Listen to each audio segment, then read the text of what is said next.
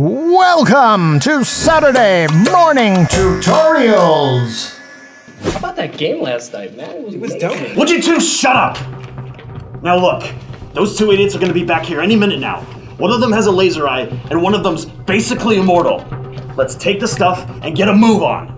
The only move you'll be making is to put your hands up slowly and walk out that door. That's two moves. Okay, then the only two moves you'll be making. Hey, I know you. You're that unicorn guy. Relax, buddy. We're on the same side. Look, let's split the load 50 50. All you gotta do is help us carry it out. Make your moves, boys. Hey, Nico, maybe we should just. Shut up, Derek. Okay. Alright, unicorn. You asked for it. Light 'em up, boys!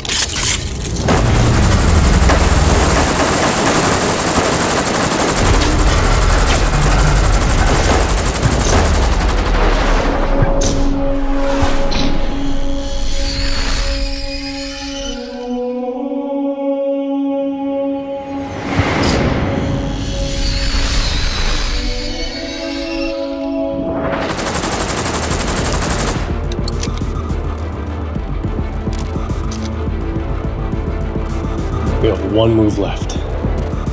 Walk out that door.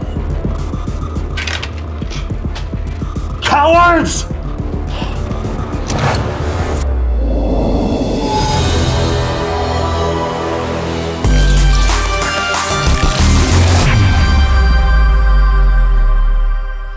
I love The Matrix. This movie is one of the movies that inspired me to become a visual effects artist. It, just has so many cool effects in it, things that I've never seen before. It really inspired me, and I can't believe it took us this long to create a Matrix tutorial. But here it is. Can I ask you a question? Sure. Who are you?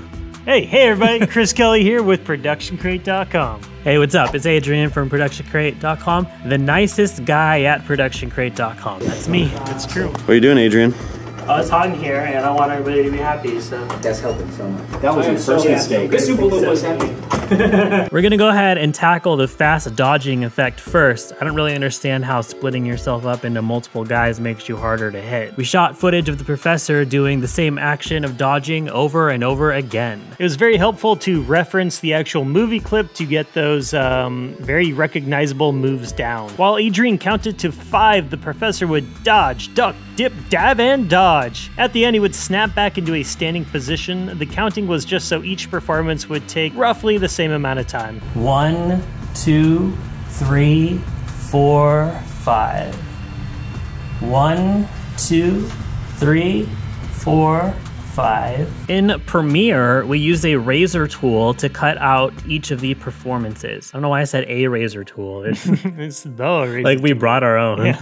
Since I was counting loudly during shooting, the audio waveform made these really easy to locate. Once those were all cut out, we stacked them on top of each other in the timeline and used the rate stretch tool to make them all the same duration. We made them all last as long as the very shortest performance, that way we're not stretching anything out and causing frames to double up. After a quick save, since we hate crashes, hate them! Hate 'em. We highlighted all of those, we right clicked, and we selected replace with After Effects composition. That's probably gonna work out. Yeah, well, oh, wait, nope. Guess what? What? Crashed anyways. No! We actually tried this several times and all we got was some crashes. Jeez. I guess it just can't be done this way. It's a bummer. New plan in After Effects. Just make a new comp with the settings you need and give it a nice descriptive title. Go to Premiere and just use Control C to copy all the layers and then back in After Effects with Control V, paste them. Finally. Feels like I gotta do everything around here. Jeez. Since the professor has light colored clothing and the background is dark colored, we can set these to a lighten transfer mode. Now we can see all the layers. If you don't have the same kind of contrast in your footage as we do, you might have to rotoscope these, which is gonna be a pain. Or you could have just used a green screen on set, which would have been a good idea. There's actually more performances here than we really need, so we can go through and delete any that we don't love. We can also use some opacity keyframes to fade some of these in and out, so we're not seeing them all at once. We actually only want the top half of the professor's body to be doubling up like this, so with a new copy of one of our footage layers, we set it back to a normal transfer mode and masked around the legs. Another funky thing that's happening is that shadow right there. It's looking crazy crazy due to the lighten transfer mode, and it's a bit distracting, so we can mask around that as well. Also, you can kind of see Nico in the back window shooting some behind the scenes, so let's mask him out. Let's get rid of Nico. You never want a Nico in your shot. It's actually the best advice in this whole tutorial. Do not let Nico be in your shot. Yeah, a lot of you amateur filmmakers out there, if you go back and watch your footage, you'll see uh, Nico slinking around. Jeez, the, that is the best way to ruin a shot. Yeah. On some parts of this, the professor's multiple hands should be overlapping his legs, but now they're not anymore since we just covered them up with our with our mask job. So let's go ahead and fix that. Grab all the copies of the footage except the top one with the masks and duplicate them, pre-comp them. In that pre-comp, we're going to use an extract to separate the brighter colors, like the skin tones, for example, on each of those layers. Now back in the main comp, everything is layered the way we want, just like a, uh, a perfect cake.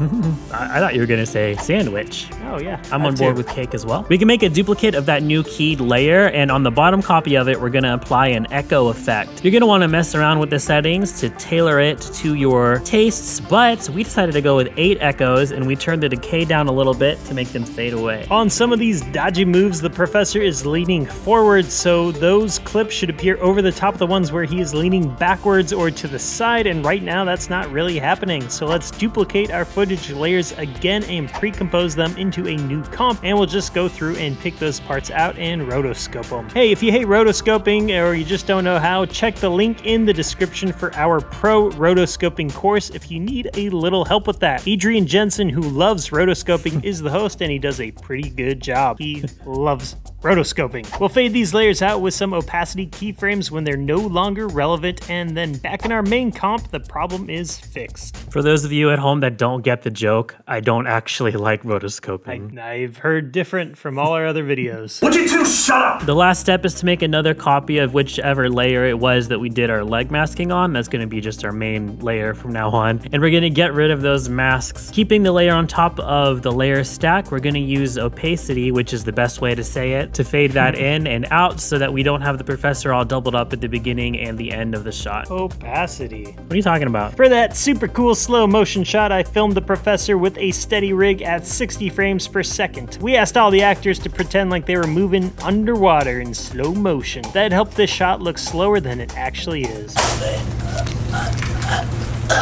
I'll kill you, unicorn.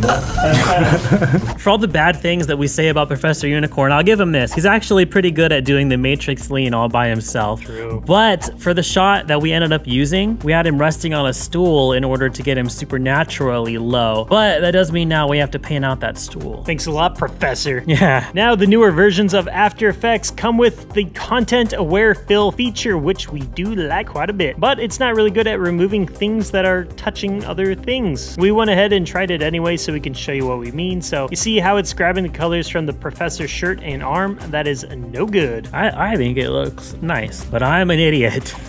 what we ended up doing is rotoscoping out the stool and then filling that hole with another copy of the footage that's just shifted to the side a little bit. It's not perfect, but for something that's not anywhere near the part of the shot where the viewer is actually meant to be looking at, it is close enough. Since we shot the footage so dang smooth and so dang wide, it was extremely easy to track using the 3D camera tracker within After Effects. To test out the tracking, let's just make a new saw right over here by these bad dudes. Hmm. hey, yeah, by the way, leave a comment. What should this evil gang be called? I'm calling them the, the Sniffles Crew. I'm calling them the, the big jerks. The Big jerks. That's a good one. Watch out for those big jerks. Yeah, yeah. See, it, it's if you use it in a sentence, you start to get it. I, yeah, I'm feeling it now. So let, let us know what you think the sking should be called, and we'll pin our favorite suggestion. Anyway, we'll make a solid over there and just move it to be close to a gun, and then we'll move forward a little bit and animate it towards the dastardly professor. That's two moves. That's looking great, but we can replace it with something better. like what? Like a bullet. Whoa. Yeah, it's pretty cool. Uh, those can be found in the weapons category, which is brand new. As a matter of fact, the whole site's pretty new. yeah.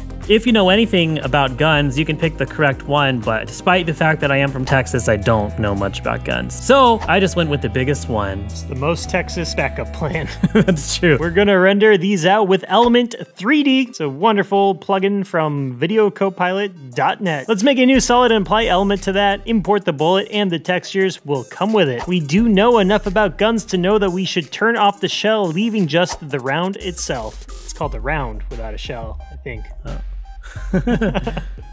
Back in After Effects. we- Backing up. Sorry.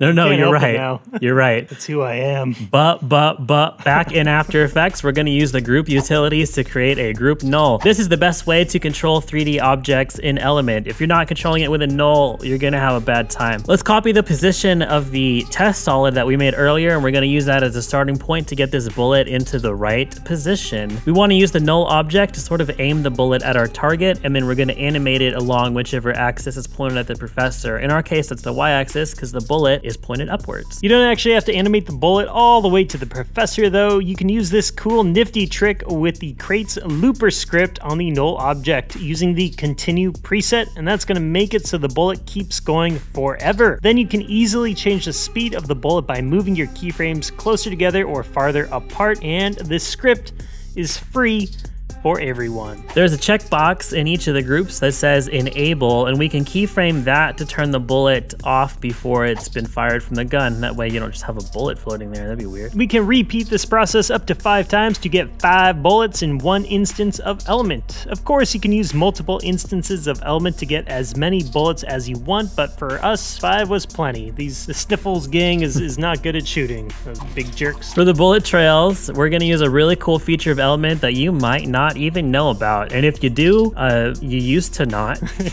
Let's create a brand new comp. We're gonna make a new solid in that comp and we're gonna apply Element to it.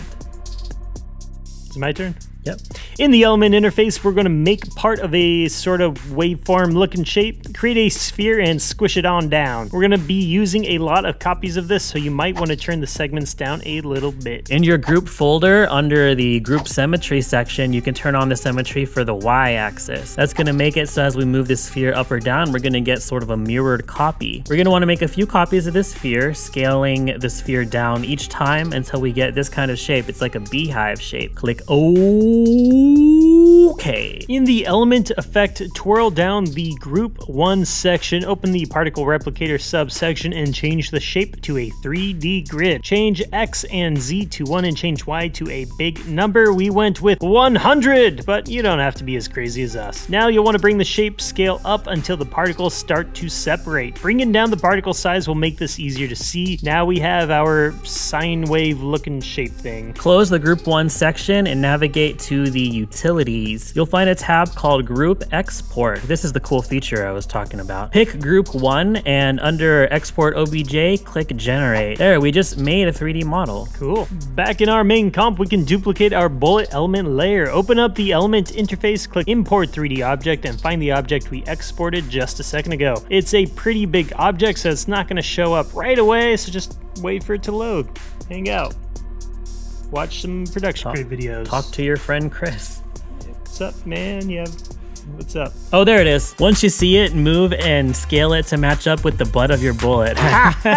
but oh, we put a glass texture on ours, but feel free to switch it up if you want to try another look. what uh what what side of the chicken doesn't have feathers? I don't know. The inside. I thought you were gonna say the butt. that too. I mean, it's not, but butt's funny.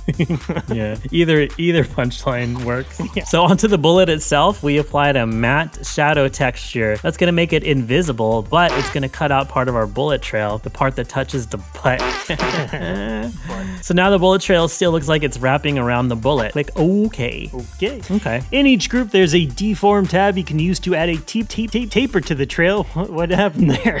it's just how you talk sometimes. you can also use it to add noise or other types of distortion, but we didn't do that. We because we only do stuff that looks good. Yeah. Under the render settings, we added a 50% gray fog. The reason why we did this will become apparent in a minute, but for now, let's just shut off that layer's visibility. Poke its eye out. Poke it Poke- out. Poke, poke it out. Let's make a new adjustment layer and apply the displacement map effect to that. We'll ask it to use the bullet trails layer as a displacement source. Since this layer has an effect on it, we'll change the source type to effects and masks, and then it'll work. We added quite a bit of vertical displacement. Here you can see that that's why we wanted the gray fog. It makes it so that we get more displacement on the parts of the trails that are closer to us us and less displacement on the parts that are further away. We can actually turn our bullet trail layer back on and change the blend mode to overlay. The gray fog is helping us out here too. It makes it so that the bullet trails near us are more contrasty and opaque than the ones that are far away. On top of everything, we added an adjustment layer with the force motion blur effect, but ye be warned, this is gonna slow After Effects way, way down, especially with all those element layers right there. Speaking of slow motion, if you want to make a slow motion muzzle flash, consider using one of our fireballs or our black powder burst as a starting point. Light 'em up, boys.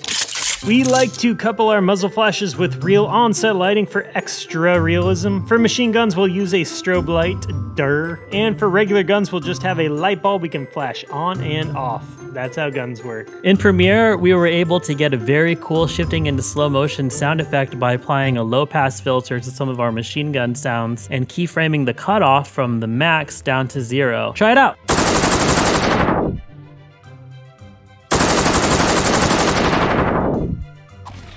We really wanted to get that classic iconic matrix green coloring on our short, so we used Lumetri to do that, and uh, you know, came out awesome. Came out green. All right, everybody, we might be back next week, um, and we might not. So stay tuned either way. Right now, as you are watching this, if you watched it as soon as it was uploaded, we're on our way back from VidCon. So if you were at VidCon, I hope you saw us. Yeah, and If you uh, missed us, sorry. yeah, I'm going to Comic Con. So if you're going to be at Comic Con San Diego, let us know. Adrian's not going to be there, so if you don't want to hang out with me, just keep it to yourself.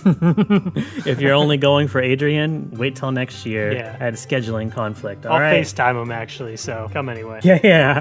If here, here's here's a guarantee. If you're at wait, I might be on an airplane. Actually, We'll figure it out. Okay. We'll ask the pilot to pull. over. actually, uh, so if, if you see Chris, ask him to try and FaceTime me, and he he will try. I'll do my best. But I might be on an airplane, so I won't be able to answer. later, creators. Maybe we'll cut this part out of the tutorial. Make it awesome. Make it awesome.